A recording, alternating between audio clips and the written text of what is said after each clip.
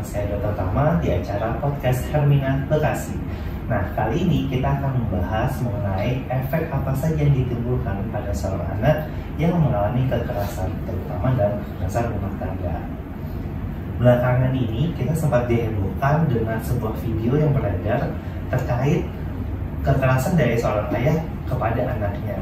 Di video tersebut kita bisa melihat kekerasan baik secara fisik maupun non fisik yang diberikan ayahnya kepada anaknya. Sama-sama kita ketahui yang namanya kekerasan ya teman-teman semua itu pasti menimbulkan suatu efek pada si anak.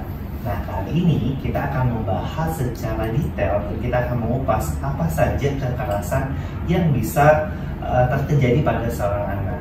Kali ini kita akan membahas dengan salah seorang dokter spesialis kedokteran jiwa di Rumah Sakit Hermina Bekasi. Selamat pagi dokter, benar dengan dokter Liko, spesialis kedokteran jiwa ya dok? Ya selamat pagi benar dok. Nah dok, belakangan kita kan sempat dihebohkan ya dok terkait dengan kekerasan dalam rumah tangga yang menimpa seorang anak. Mungkin bukan hal yang tabu lagi ya dok terkait kekerasan dalam rumah tangga. Nah mungkin bisa dijelasin dok, apa sih dok peran orang tua dalam uh, keluarga dok? Baik, jadi kalau kita bicara peran orang tua khususnya terhadap anak memang sangat luas dan dalam sekali ya. Jadi orang tua sebagai orang yang paling terdekat dengan anaknya. Mereka menjadi yang memberikan sandang pangan papan, kemudian mereka memberi kenyamanan, keamanan, memberikan validasi atau pujian, memberikan support atau memberikan juga nilai-nilai ya yang mana yang benar dan salah kemudian memberikan juga bisa ada hukuman walaupun tuh hukumannya harus mendidik kalau dibicara peran orang tua ya sungguh sangat luar biasa besar sekali. Terutama ibu. Nanti ibu yang memang menjadi seorang yang paling dekat dengan anaknya. Nah tapi jangan lupa juga uh, peran ayah. Peran ayah sering kali sering dianggapnya hal yang sepele. Padahal peran ayah itu juga sangat uh, sangat penting ya. Contohnya dia sebagai penyedia ya. Penyedia uh, segala sumber materi. Kemudian selain materi tidak hanya cukup materi ya peran ayah juga memberikan uh, sebagai pemandu ya. Pemandu bagi anak-anaknya memberi nilai memberi arahan kepada anak-anaknya terus juga jadi teman bermain secara fisik terhadap anak-anak. Jadi luas sekali berarti sangat luas ya dok intinya mengajarkan si anak ini mulai dari nilai contoh dan nantinya menggait seorang anak itu akan jadi apa ke depannya dok. Betul. Nah dengan tema kita kekerasan dok apa aja sih dok dampak yang bisa ditimbulkan pada si anak ini apabila dia terkena kekerasan dok dalam rumah tangga? Dampak kekerasan pada anak memang secara biologi itu sangat ada hubungannya ya. Jadi ketika seseorang anak mengalami kekerasan apalagi waktu usia kecil ya di otaknya terutama di bagian pertama adalah amigdala. Amigdala adalah, adalah area emosi area kita ada rasa takut area flight and fight di situ. Kemudian kedua adalah area uh, prefrontal cortex ya atau area kognitif. Kita tempat berpikir, tempat problem problem solving, ya memutuskan segala sesuatu di sana. Satu lagi adalah area hipokampus atau area memori. Jadi semua itu sangat berpengaruh. Itu dari segi biologi. Kemudian dari segi psikis ya mulai dari ketika seorang anak mengalami kekerasan dia akan tumbuh dalam kondisi yang kurang percaya diri pertama. Kedua dia akan mengalami kesulitan dalam membangun hubungan dengan pertemanan ataupun hubungan yang intim, kelekatan ya dengan pasangannya nanti. Selain itu juga sulit membangun trust, rasa percaya terhadap orang lain.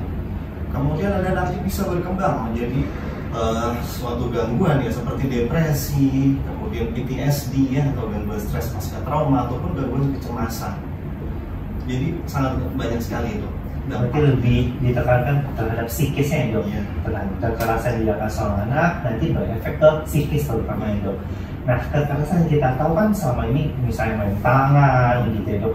Mungkin bisa dijelasin ya dok, uh, apa aja jenis-jenis kekerasan yang bisa uh, tertimpa pada seorang anak itu dok? Karena kan mungkin di lapangan kita sendiri kayak misalnya dok, uh, kita manggilkan, hey membentak. Nah mungkin itu udah termasuk sebagai kekerasan ya dok. Itu bisa dijelasin dok. Baik, jadi selain kekerasan fisik ya tadi yang seperti mencubit, memukul atau menampar ya ada juga kekerasan emosi atau psikis berupa verbal tadi contohnya dokter tadi bilang membentak memanggil dengan teriak gitu ya memanggil dengan sebutan yang uh, kurang pas lah yang nggak baik ya. Kemudian selain kekerasan verbal atau fis apa uh, psikis atau emosi ada juga kekerasan berupa pengabaian ya. Jadi seorang uh, orang tua yang abai atau neglect terhadap anaknya uh, mereka sibuk sendiri dengan urusan mereka ya itu juga masuk dalam kekerasan. Kemudian ada juga kekerasan seksual. Kita juga akhir-akhir ini sering sekali dengar berita mengenai kekerasan seksual terhadap anak. Kemudian yang terakhir adalah uh, kekerasan uh, dalam bentuk uh, eksploitasi ya. Jadi eksploitasi dari semenjak kecil anak itu dieksploitasi untuk misalnya untuk bekerja mendukung kehidupan ekonomi keluarga seperti itu macam-macam kekerasan baik baik dok tapi cukup banyak juga ya dok uh, kekerasan yang sebenarnya kita tidak mengetahui menganggap itu sebuah kekerasan dok seperti yang dokter bilang tadi neglected atau misalnya menelantarkan. Mungkin si orang tuanya sibuk dalam pekerjaan ternyata itu kita bisa menggolongkan terhadap satu kekerasan.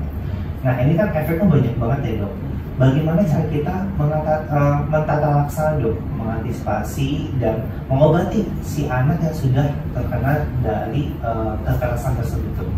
Kalau ini misalnya terlanjur ya anak yang mengalami trauma gitu ya kekerasan memang pertama adalah uh, dukung dukung anak itu. Ya kita sebagai orang tua harus mendukung dengan cara pertama adalah mendengarkan mereka secara terbuka kemudian tawarkan dukungan apa yang bisa kita bantu terhadap ya kemudian setelah itu bisa juga kita uh, coba cari solusinya juga kepada anak ya. Misalnya kekerasannya terjadi di sekolah misalnya atau bullying gitu deh.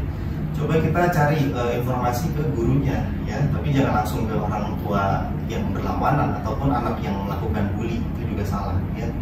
Kemudian setelah itu kita refleksi diri juga uh, bagaimana kita selama ini memperlakukan anak ya uh, emosi kita ketika anak itu misalnya nakal ya apakah kita terlalu keras ya ataupun tadi kita terlalu abai. Jadi orang tua dituntut juga harus uh, terus refleksi untuk terus belajar menjadi seorang orang tua yang baik ya. Kan sekarang udah banyak sekali informasi mengenai cara parenting dok ya. Hmm. seperti itu baik sahabat, sahabat Hermina kita udah bahas tadi ya mengenai dari peran orang tua ya dok yang cukup luar biasa untuk mengajarkan nilai-nilai dan contoh nantinya dengan ada satu kekerasan baik itu secara verbal ataupun non verbal juga menimbulkan uh, banyak psikis terhadap anak ini. Nantinya pertumbuhan anak juga akan terpengaruh dari kekerasan itu sendiri ya dok dan kalau bisa lebih baik kita jangan sampai terjadi kekerasan ya dok karena cukup lumayan sulit ya dok untuk mentreat anak-anak yang mengalami kekerasan. Baik dokter, kalau boleh tahu saat ini kesibukan dokter apa aja dok? Oh iya, baik. Jadi kalau saat ini saya prakteknya uh, di rumah sakit terminal ini ya. Kemudian saya juga menjadi dosen di Universitas Yarsi. Oh, berarti juga staf pengajar ya dok. dokter. Sebelum kita menutup ya dok, uh, mungkin ada closing statement dari dokter terkait bagaimana tips dan trik uh, untuk menjadi keluarga yang harmonis dan terhindar dari uh, kekerasan dalam rumah tangga. Boleh disampaikan dok? Baik, jadi khususnya untuk orang tua ya, karena yang memainkan peranan penting kunci adalah orang tua. Orang tua coba pertama adalah refleksi diri. Ketika kita merasa oh kita mengalami uh, seperti gangguan emosi nih, emosi saya nggak stabil dalam menghadapi anak ataupun dalam menghadapi pasangan ya. Nah, coba kita uh, refleksi diri, kita belajar untuk mengatur emosi ya, ataupun kita juga bisa berkonsultasi dengan profesional. Uh, pertama itu ya. Kemudian kedua ciptakan komunikasi yang baik antara pas uh, dengan istri atau suami, kemudian juga ciptakan komunikasi antara orang tua dan anak yang baik. Belajarlah menjadi pendengar yang baik ya sering kita uh, mendengarnya temanya menjadi public speaker yang baik, sementara pendengar yang baik itu kurang. Kemudian selain itu juga uh, bisa juga ciptakan uh, suatu wak uh, waktu ya yang berkualitas ketika kita di bertemu dalam apa maksudnya sedang berkumpul dalam di keluarga jika itu waktunya sudah sedikit kuantitasnya sudah sedikit lebih baik kita jauhkan dulu gadget kita urusan kita di kantor masing-masing. Kita coba ngobrol dengan anak beri mereka pertanyaan terbuka apa kabar hari ini apa apa kabar hari ini kemudian atau bagaimana perasaanmu. Itu juga sangat sangat membantu. Kelihatannya sangat simpel padahal itu sangat membantu. Gitu Oke dokter luar biasa ya dok. Baik sahabat Hermina, kita udah bahas peranan orang tua, efeknya, dan tips dan trik dari dokter Liko sendiri agar membangun keluarga yang harmonis dan terhindar dari uh, kekerasan dalam rumah tangga. Nah, baik untuk sahabat Hermina yang mengalami masalah, terutama dalam kekerasan rumah tangga, itu bisa konsultasi langsung bersama dokter Liko ya dok di Rumah Sakit Hermina Bekasi. Kita tunggu kehadiran teman-teman semua Uh, baik dok, mungkin cukup demikian dok podcast kita hari ini. Terima kasih atas informasi yang cukup uh, luar biasa ya dok.